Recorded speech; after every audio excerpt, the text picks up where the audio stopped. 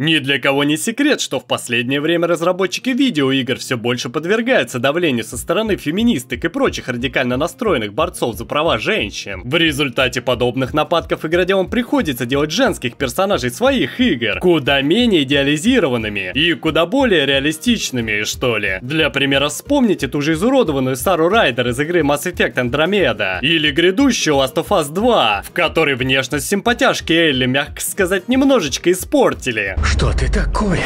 Мы жертвы слепого феминизма. Так что нынче создавать нарочито сексуальную героиню это как по минному полю с завязанными глазами ходить. Но история помнит случай, когда разрабы сами того не желая допускали ошибки, которые делали игровых персонажей чрезмерно сексуальными. Всем привет, с вами Айвори, и сегодня я составил для вас список из 9 ошибок и багов, которые делали персонажей видеоигр более соблазнительными. Как я и предполагал, YouTube лишил мой прошлый ролик монетизации. Правда, при повторе повторной проверки монетизацию все-таки восстановили. Тем не менее, на количестве просмотров это сильно сказалось. Но не будем о грустном. Зато вы поставили свыше 9000 лайков, за что вам огромное человеческое спасибо. Если поддержите это видео, то я буду вам очень признателен. И как можно скорее приступлю к созданию следующего ролика. А теперь всем приятного просмотра и понеслась.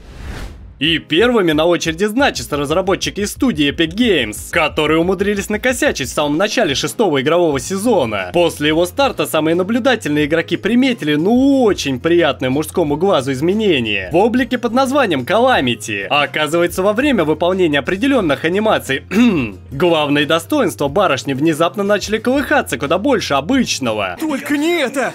Я ведь девственник, сейчас же шишка встанет! После увиденного воодушевленные игроки недолго думая окрестили пикапную фишку лучшим нововведением шестого сезона. Разрабы в свою очередь заявили, что это была всего лишь нелепая ошибка. Намеренно делать женских персонажей сексуальнее никто не собирался. Это произошло случайно, нам очень неловко и стыдно за такой недосмотр. Мы уже работаем над патчем, заявили оконфузившиеся Epic Games. Ага, так мы им и поверили.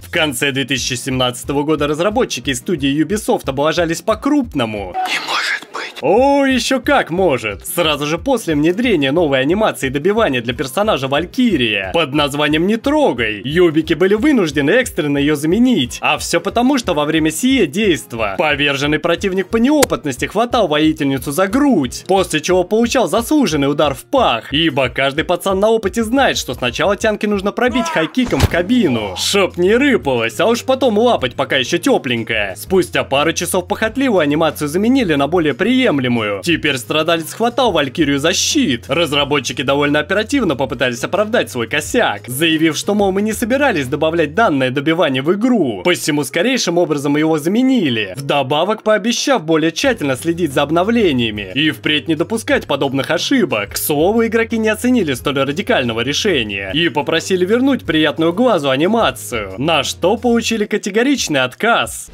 Также хотелось бы упомянуть небольшой, но довольно горячий косяк от разработчиков знаменитой игры PUBG. В 2017 году парни умудрились снабдить свое детище чрезмерно подробными моделями персонажей. После этого нововведения игроки с изумлением обнаружили, что оказывается у женских моделек сквозь нижнее белье проглядывается очертание, если говорить пикаперским языком, верблюжьего копытца. Oh my. После шквала геймерских шутеечек про редактирование размера гениталий и прочих интимных мест, игроделы были вынуждены извиниться, свалив при этом всю вину на стороннего художника-фрилансера, который занимался дизайном данных моделек. Главный дизайнер PUBG Брэндон Грин лично принес извинения за столь нелепую оплошность, и уже следующий патч вернул игре ее первозданный пуританский вид. Как принято говорить в этих ваших нижних интернетах, тема сисек не раскрыта. А посему я принес для вас еще один забавный косяк. На этот раз закравшийся в игру Street Fighter 5, фанаты которого быстро приметили, что в режиме зеркального матча во время выбора персонажа, казалось бы с виду идентичной модельки героинь, отображались немного по-разному. Хотя как немного, с местными-то пропорциями молочных желез.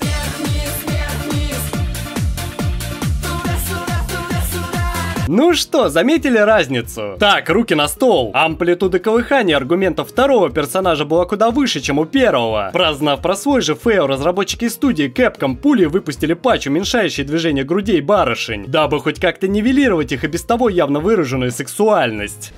Говорят, что молния не бьет дважды в одно и то же место. Но компания Ubisoft абсолютно точно не похожа на природную стихию, а посему она вновь оконфузилась все на той же сексуальной почве, только теперь куда более откровенной. Дело было так. В октябре 2016 года одним серым пасмурным утром мегакорпорация Sony забанила в PSN некого игрока, опубликовавшего скриншот голой девушки NPC из игры Watch Dogs 2. А причина крылась в том, что юбики слишком уж тщательно проработали модельки некоторых неписей, и при у них можно было разглядеть самые настоящие первичные половые признаки. В итоге разработчики были вынуждены выпустить патч, уменьшающий детализацию NPC, и при этом добавили, что у игры, конечно, взрослый рейтинг, но такая подробная детализация никому не нужна. Ха, говорите за себя. И к слову, блокировку зоркого игрока так никто и не снял.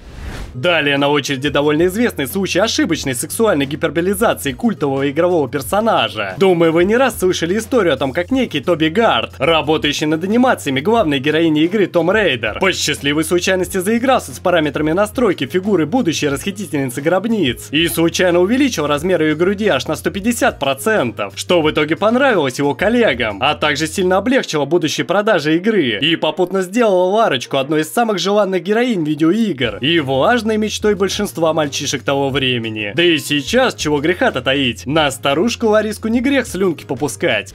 Порой игродям приходится менять не только внешность героев или их анимации, дабы избежать обвинений в нарочитой вульгарности персонажей, а даже обложку, что и произошло с авторами мобильного ролевого экшена Сина Элис. Разочарованные игроки однажды обнаружили, что постер игры кардинально изменился. Дело в том, что до релиза девушки на картинке были одеты в довольно откровенные наряды, но в финальной версии, которая появилась в Google Play и Apple Store, абсолютно всем героиням прикрыли грудь.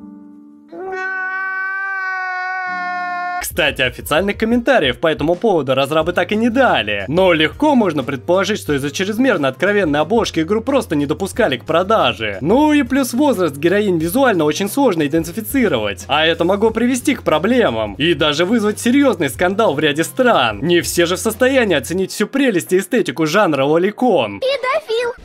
И напоследок хотелось бы упомянуть вездесущий Overwatch, а конкретно скандальный случай с откровенной позой Трейсер. Близов частенько упрекают в том, что их персонажи получаются уж очень сексуальными. Ну не зря же Overwatch на протяжении долгого времени лидировал в поисковых запросах на различных порно-сайтах. Но в 2016 году терпение какого-то скромняшки лопнуло, и он заявил, что из-за низкого возрастного рейтинга в данную игру могут играть дети. А тут какая-то деваха позволяет себе задницу аппетитно отклячивать. Когда же вы подумаете о детях? Эх, а тогда он еще не знал, что Трейса вдобавок ко всему еще и лесбиянка. Знал бы, наверное, шею Каплана от злости зубами перегрыз. Но, как итог, метелица удалила вульгарную позу, заменив ее на более игривую в стиле пинап иллюстраций. Хотя, на мой экспертный взгляд, практически ничего не поменялось. Опять дрочить. А на этом, пожалуй, я и закончу сегодняшнее видео. Всем спасибо за просмотр. Пожалуйста, не забывайте жать лайк, дабы морально поддержать автора. И, конечно же, выход нового контента. Подписка на канал и в группу ВКонтакте по-прежнему почетно, бесплатно и самое главное, православно. И приласкать похотливый колокол не поленитесь. Он по вам очень скучал. На этом все. Всем удачи и пока.